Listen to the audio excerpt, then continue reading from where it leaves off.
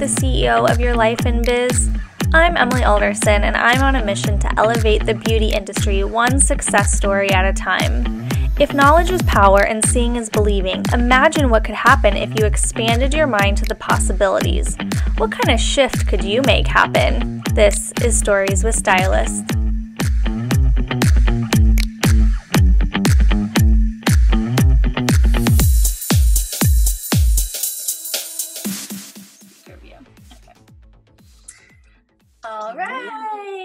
Hello, hello, and welcome to this episode. I'm really excited to have Julisa Anderson with us. She is the creator and founder of Moonchild Elixir, which um, I love all things moon related. So I'm very excited about that. Same. She's had a really interesting career and I think we're going to like learn so much through this little journey with her. So thank you for being here and welcome. Thank you for having me. I'm excited. So I always ask with the first question, where are you from and what led you to cosmetology? So, um, I was born in New York. Uh, when I was about 11, um, me and my family, we moved to Maryland, like right outside of Baltimore. And then, um, what, for my 29th birthday, I moved to Detroit. And um, I guess you could say what led me to hair. Ever since I was a kid, um, my babysitter used to do my hair every day. And I used to get so fascinated with how people would react when I would get to school. And they would say, Oh my God, like your hair looks so cute. Like, who's always doing your hair? So as I got older, I was like, hmm, I'm still just so fascinated with what I'm able to do with my hair and the different looks that I could achieve. So I guess you could say she inspired me. She was always like the neighborhood hairstylist. Everybody went to her. So I always admired to be like this big hairstylist ever since I was younger. That's so cool. And when did you do cosmetology? Right after high school, then? Actually, I did cosmetology while I was in high school. Cool. So I did Votech. Um, by the time I graduated, when I was 17, um, that was when I received my cosmetology license. And then what did life look like after that? Did you go right into a salon or assisting? Yep. So I went straight into a salon. It was like half salon, half barbershop. Uh, Afrolistics is owned by um, Angelo Richardson. Um, so I worked there for quite some time, at least like maybe seven years. And then um, he actually gave me the shop. So I owned it for quite some time. Um, and then on me, like transitioning, um, pretty much getting ready to move and stuff, and still trying to figure out my way in the beauty industry. Um, I ended up working at another barbershop uh, called a King's Barbershop, owned by my friend David Gross. Um, so I worked there for a while, and then I just woke up one day and I was like, I want to move. and um, I was visiting Detroit often. Um, I fell in love with the city. I ended up getting my hair done out here, and I was like, "Oh my god, like my hair looks so good." so the more I talked about it to my friend, um, she was like, "You know, Detroit is like hair capital," and I was like, "There has to be a spot in this city for me to fit in and just be able to do the work that I want to do." Mhm. Um, so uh, about a month after I moved here, I ended up meeting my boss, Jasmine. She owns Studio Lush, the current salon that I'm at. And she was getting ready to open up her salon. We met. Um, you know, she looked at my work and we just fell in love with each other. I was like, oh my God, it's I, somebody that felt my vision and could help me. Um, and I definitely supported her vision with what she wanted to do with the salon that she was opening up. So it was literally like the perfect fit. I love all of my coworkers. Um, and it's just a blessing to be able to work with people who support you. And, you know, we just want to see everybody grow. That's So that's where I'm at now. well, that's like a big leap of faith, but also such a reward for that big jump, right? To hmm find your Yeah, no, definitely, definitely. I'm super grateful that I did take that leap of faith because it was scary and I honestly didn't know like where I was going to start with trying to find a salon.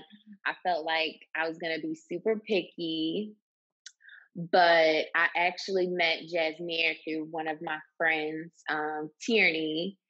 So they had went to school with each other in Kentucky. Um, that's where Tierney was from, and she really didn't know that Jasmine was from Detroit.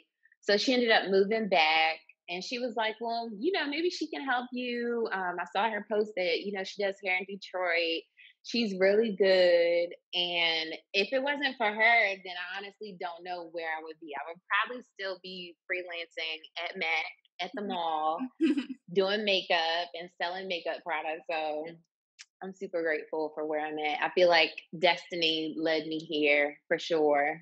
Absolutely talk us through a little bit like owning a salon at such a young age and it just kind of being handed over to you was it something that you always wanted or it just seemed like a good opportunity at the time? What did that really look like for you? Um it was something that i also uh, that i always wanted i'm sorry but it was also like a really good opportunity at the time. I took it as a great learning experience. Mm-hmm. um it was just like issues with the landlord and it was like you know what?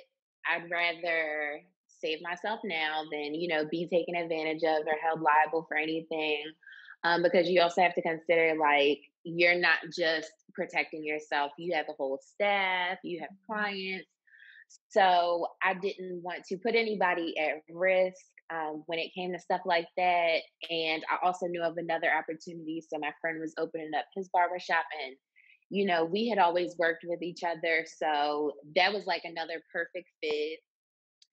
So um, just being able to help support people that supported me along the way, I feel like that helped take me as far as where I am. Mm-hmm. You know, just showing the support and people that, you know, are always there for you. And I think, I mean, because you were young, that was like a really huge selfless decision to kind of let go of that chapter. Mm-hmm. So that kind of for and didn't go. Yeah, uh, it hurt. It was like for a second I questioned, like, "Ooh, am I doing the right thing?" But then I realized, you know, I can always start over wherever I want. Like I have that job where I can literally bounce around. Yeah. So I just took it to my advantage. I took it as a huge learning experience, and I'm super, super grateful for doing it. Um, but I feel like me letting the shop go also opened up doors for a bigger opportunity. Totally. That like actually kind of give me chills because I think that is really big. Um, you know, in our industry where it feels like here is the order of things that we need to do in order to be a successful stylist. But that's why I just love with talking to so many different stylists with different experiences because there's hundreds of opportunities. Exactly. Like you have done what special effects makeup, glamour makeup. Mm-hmm. You worked in a mortuary. I want to get into mm-hmm. that a little bit because that's such a fascinating career opportunity. Yeah. How did you start doing that? Um, so getting out of high school and doing hair, of course, I went through the stages of like, ooh, do I want to go to school? What am I going to go to school for? Um, so I was always interested ever since high school, you know, the process of funerals, you know, because it's not too often that you hear people say like, "Oh, I want to work in a funeral home," like mm-hmm. you know, just being around dead people. So I saw it as something that I could do that would set me aside from everybody else. Um, it was like, this is a piece of cake. Like I can handle this. Yeah. Um, so I thought about going to school. I took a couple classes at the community college, and I was like, you know, before I really get into this, you know, let me volunteer at a funeral home. Let me see, you know, what it's all about. Mm-hmm. So when I was 19, I started volunteering at March Funeral Home in Baltimore. And I um, shadowed a licensed mortician. Her name is Glennis KK. And I would just follow her around, watch everything she did. I would help her out. And then not long after I was doing that, maybe like a couple months to a year, um, one of my friend's moms had passed away, and she asked me, she was like, "You did my mom's hair. Like, I don't trust anybody else with it." So I was like, "Okay." And then she was like, "Well, I mean, I know you know how to do makeup. Like, do you mind, you know, fixing her makeup and stuff too? Because she didn't like how the funeral home did it." So I was like, "I mean, okay, cool." And then I did it, and I was like, "Wow, this actually wasn't like that bad." You know, especially after volunteering, I got to, you know, see firsthand the process from the time the body comes in up until they're off to being buried. So then another person, you know, that I knew had passed away, and then their family's like, "Oh, well, you know, you did their hair," I, and then it became like a repetitive thing, and I was like, "Well, I mean, this isn't so bad. Like, maybe I should really start advertising for this." So that's like the kind of complicated part because it's like, how do you advertise for mortuary hair and makeup? So I'm beginning to break the ice more um, you know, doing stuff like this. But like, I really appreciate you asking me because it isn't a topic that people touch on too often. But like I said earlier, it's a great conversation piece. Yeah. Um, especially, you know, when you're out with people and you just meet for the first time. So um, I'm really starting to open up more about it. Like I just did another funeral uh, in August. Uh, one of my clients had flew me to Maryland um, because her sister had passed away. So I did the hair and makeup for that. So I, I, t- I put a lot of pride into it. I really love doing it um, because it's the family's, you know, final goodbye. Mm-hmm. You want them to look their best. Um, I always think like I want them to look like they're asleep. Yeah, it is something that's so personal, and and what we do anyway is so personal but this kind of like final goodbye and final gift to the person is is really something special. For but yeah it probably i can only imagine it's hard to market would make for a interesting instagram feed. You know like how do i advertise this? So i'm still like a before and after. It's a little morbid. Yeah. Right right yeah so we're yeah, I'm trying to get past that. But doing stuff like this definitely helps break the ice mm-hmm. for it. Just to, you know, put it out there. Yeah. Um, because a lot of hairstylists, you know, maybe they're not aware. Like you can actually do that. That could be a nice little side hustle. Mm-hmm. You can, you know, get a contract with a funeral home. They just call you when they need you. Interesting. Yeah, for sure. Yeah. I think that's so neat. And it's, yeah, it just is such a really special gift. Yeah, um, and I like it because I can also set myself aside from the morticians that are used to doing the makeup because they have experience doing makeup on people who are alive. So I know how to make those features not look so morbid. You know, I know how to mm-hmm. do um, different effects to, you know, make the skin look like it's glowing rather than they just slap that thick, it's super thick makeup that they put on, you know, the bodies, but it's a huge difference. So I like that.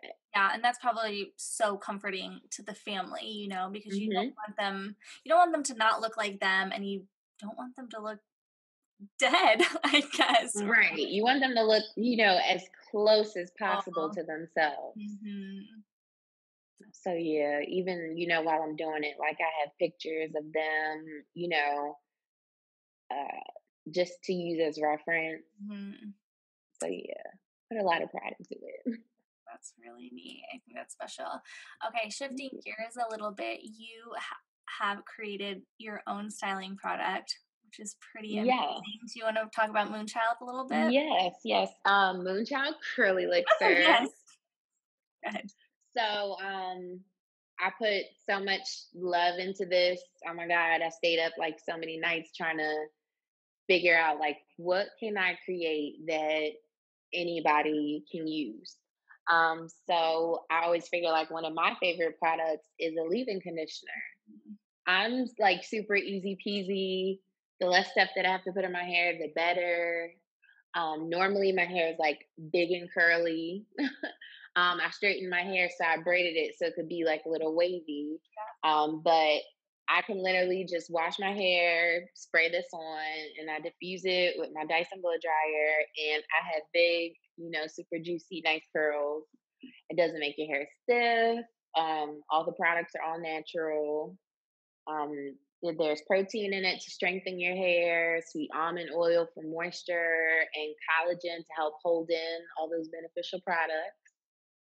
So, yeah, it's something that I put my heart into, and I cannot wait to expand and to grow with that.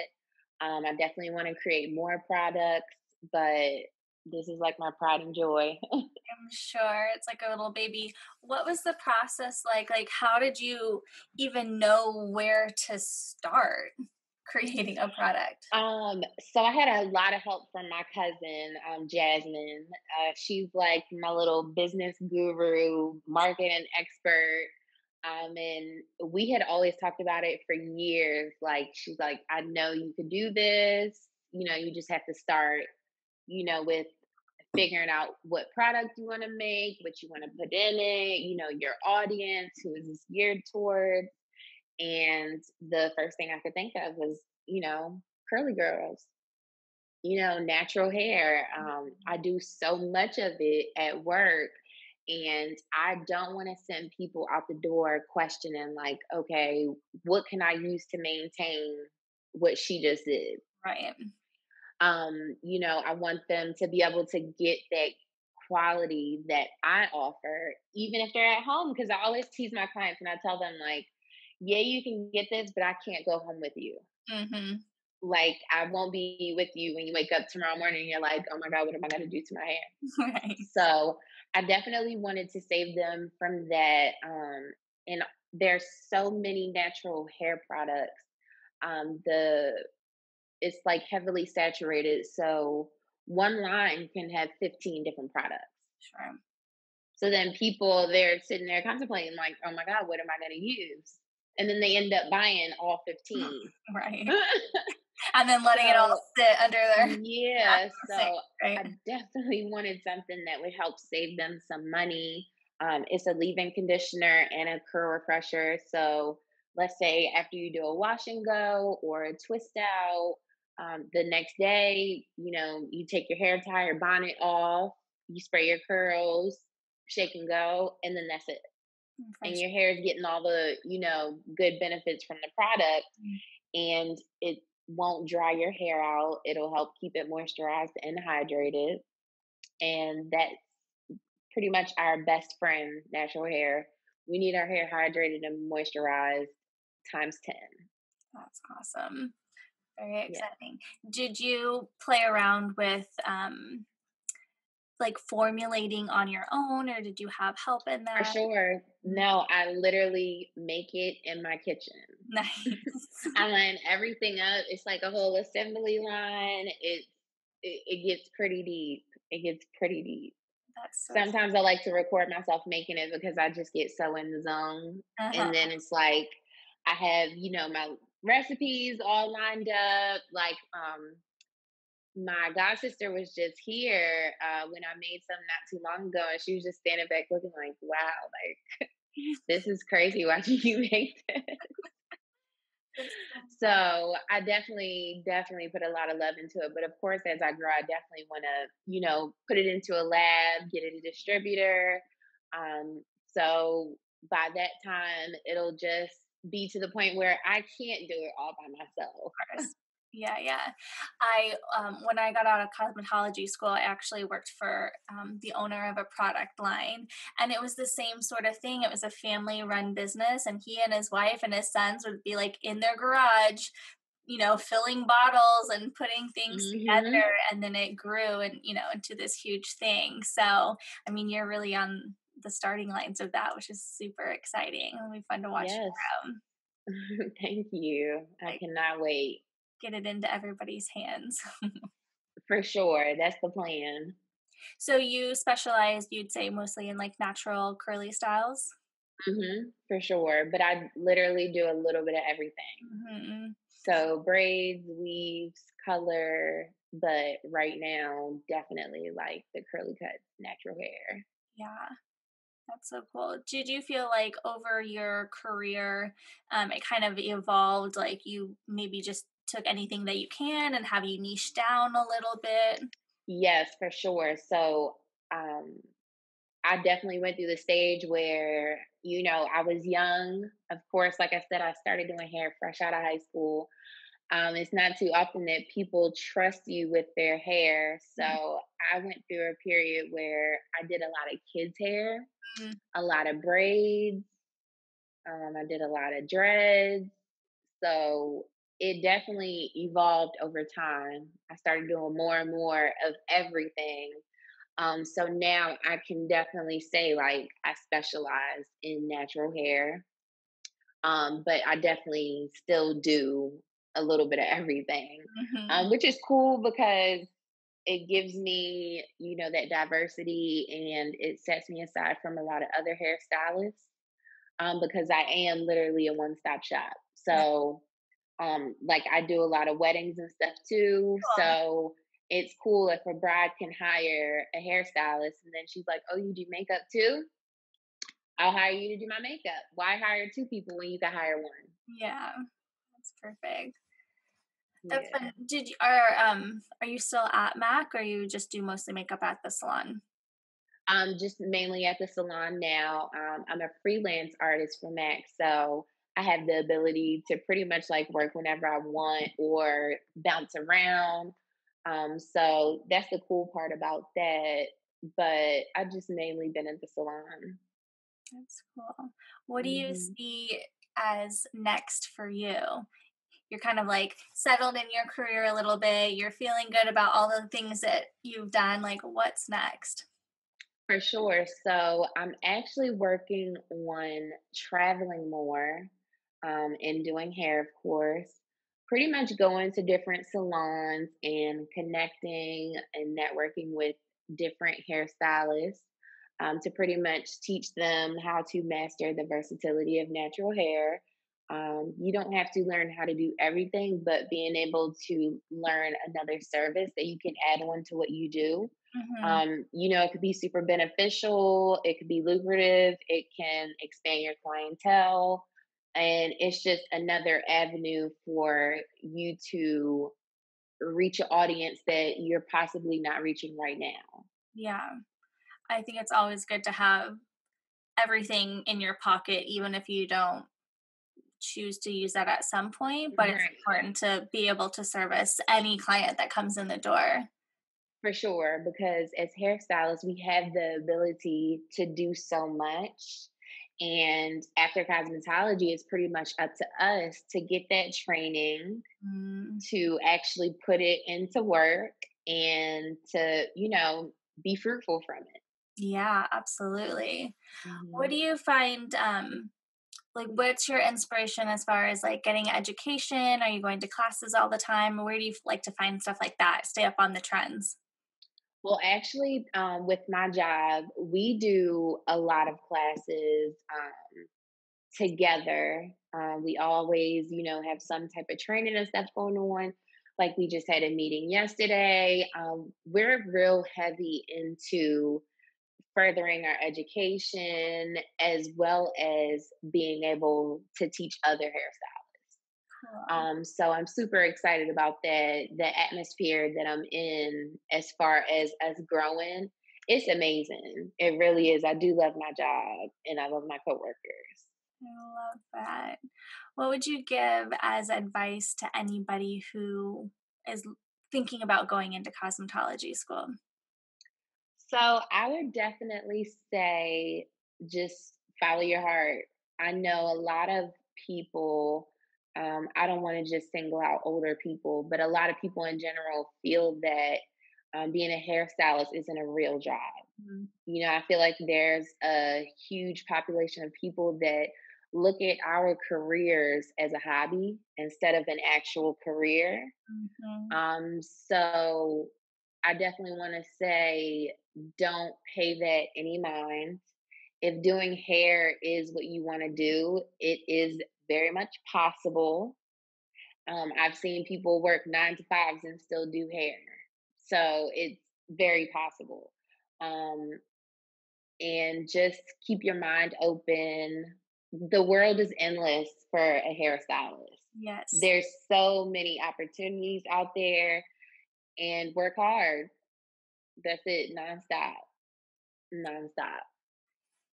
That's what keeps your passion going. You just love love what you do. Yeah, that I would say that's the the passion in me doing hair, um, and just being in the beauty industry and being able to make people feel as good as they look. Um, that's like a huge thing for me. I really do love my job and what I'm able to do for people.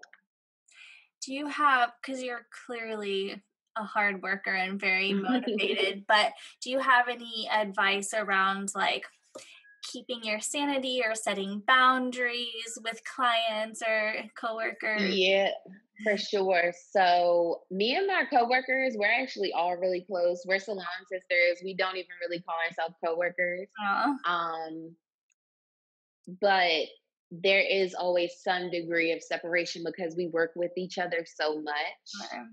So it's like we know to respect each other's boundaries. Like um, with me just moving to Detroit, what, maybe almost two years ago, I didn't really know too many people out here. So I couldn't always just depend on them, like, oh, these are my friends, I'm just going to hang out with them. You know, I really, uh, I put myself out there. I started making friends, networking, really getting to know people. Um, so, in that sense, I guess you could say, like, we definitely respect each other's boundaries. Um, with clients, there's even a bigger degree of separation. Um, I'd have to always be stern because I'm I could be super nice. Um, mm-hmm. you know, I'm gonna treat you, of course, with the respect that you deserve, and I'm gonna give you an exceptional service. But um, we often have to remind clients, like, I'm not your friend. You cannot take advantage of me. You cannot, you know, just feel like you could do whatever you want, type of thing. Um, so yeah, you definitely have to protect your space and your energy. Uh, you have to remember that you can't service everybody. You can't please everybody. And when one person won't pay, somebody else will. Mm-hmm. yes, that is so important to remember for sure. Um, what about even just with yourself? Like you have a lot going on, you wear a lot of titles. What do you do to kind of keep yourself grounded? I meditate a lot, a lot.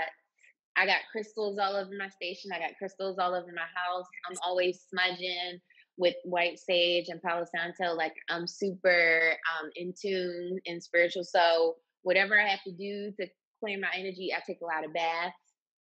Um, you know, my uh, homegirl Tierney, she, you know, told me and suggested stand outside in the grass barefoot and just mm-hmm soak it all in. So I definitely, definitely stay on top of that. Um, and it was a lesson learned. I definitely went through the stage where I didn't know if I wanted to do hair anymore. Okay. And it was like, ooh, like I'm starting to not like this.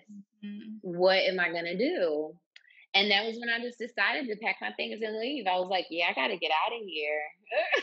I feel I was like, there's so much more than Maryland, and I'm in like a smaller town outside of Baltimore, um, Glen Burnie. So it's like this is cool and all, but this isn't for me no more. Mm-hmm. So yeah. I love that. Yeah, I think it's those kind of like small moments of pause. You know, sometimes when people hear meditation, they're like, I don't have time for that, or I don't know how to do it, or I, I've got too much going on, like I can't quiet my mind, what would you say to them? Um, it's definitely worth making time for it. Even if I have to sit and meditate for like five minutes, mm-hmm. that's five minutes that I deserve. Because yeah. I feel like after a long day, I work hard. Um, so I definitely try to do a lot of little things to um, just, you know, take care of myself. Even like stuff outside of work, I do like a lot of arts and crafts. Um, I love outdoors activities. I've been working out a lot more, going bike riding, anything to like feed my inner child and just, you know, mm. make me feel like, okay, yes. you're doing it. Yeah, what you, know, you, you want to do. Mm-hmm. Mm-hmm. I think that inner child stuff is so important because it's that play, that just like pure mm-hmm. joy, pleasure of just play just for fun. It doesn't have to mean anything else. Yeah. Yes. I find that it's definitely satisfying. A lot. Mm-hmm. So yeah, I would say that's very important for any job that you have, even if you aren't a hairstylist. Definitely make time for yourself, even if it is just a couple minutes a day. Mm-hmm. So, um, me and my friend Tania, we talk every day, but now we tell each other, like, okay, so when we wake up in the morning, we're going to meditate or work out and we're going to say affirmations to each other. Oh, like a buddy system. That's perfect. Yeah. So, you know, we're holding each other accountable, we're making each other feel good. Um, and of course, technology is like super cool because all of my friends uh, from back home. I'm able to talk to them. So even that helps, you know, making time to really, you know, stay connected with people too. Mm-hmm. Any advice on somebody looking to make a huge change, like geographically and kind of starting over? What kind of mindset do they need to have to rebuild? Um, you for sure have to be open minded. Um, this was like a huge sacrifice. Um, the first, I would say, seven months that I lived out here, I um, was staying at Airbnbs. I would rent an Airbnb for a month. I would um, work at MAC, and then I would go to Maryland once a month for like five to seven days. I would do everybody's hair. I would fit like 50 people in a week. And then I would make that money, and then I would go come back here mm-hmm. and work at MAC. And I did that for like the first seven months because I felt like, okay, I need to find somewhere where I feel comfortable. And I thought, I'm not from here. I only visited a couple times. I'm like, let me get a feel for the area. So I stayed in seven different areas of Detroit until I finally was like, okay, I'm at the salon. I'm making, you know, the money that I want to make. I completely forgot about MAC by this point. I was like, oh, whatever. right. So I felt super comfortable and I was like, okay. And I found my home and I love it. So it's definitely like now my safe haven. Mm-hmm. Um, now I'm all settled in and nested. And I'm definitely glad I did it how I did it yeah. It was hard but it was it was worth it. Yeah but i feel part of that was you not settling for just anything right? Like you exactly. Exactly so that was a huge thing for me. I was like once i move into somewhere i just i want to stay there for a while. I don't want to keep bouncing around.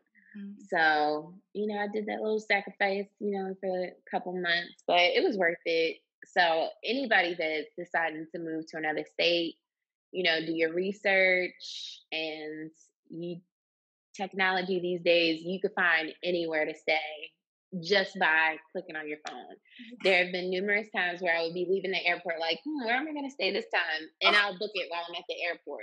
Oh my God. so, yeah, it's possible. That's so awesome. well, this has been so cool. I mean, you have such a amazing journey, all the different things you can do. Where can people get in touch with you on social media? Thank you. Thank you. So um, my Instagram is hair mistress underscore. Um, what else? And you can also um, what on Twitter, same uh, handle. And what you can also get the Moonchild Curly Elixir off of hairmistressaes.com. But other than that, you know, if you have any questions or anything, feel free to DM me. I do respond. Um, I definitely always want to definitely make time for the people who have been supporting me.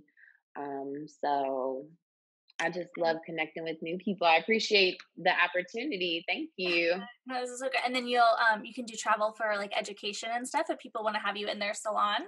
Yeah, for sure. So I I am available for pop shop pop up shops. Um, you know, wherever. I my dream is to go internationally. Right now, I'm trying to go to London. Um, so yeah, wherever wherever I'm down, I love traveling. So I'm always open to connect. Perfect. Well, thank you so much for today. Thank you for having me. Bye.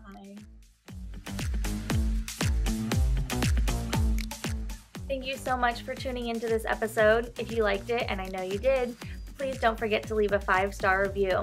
I love hearing from other stylists, so take a screenshot of the episode and tag me in it at Mindful Hair by Emily.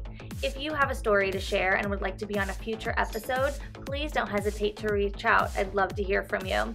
We'll see you guys next Monday with more Stories of Stylists.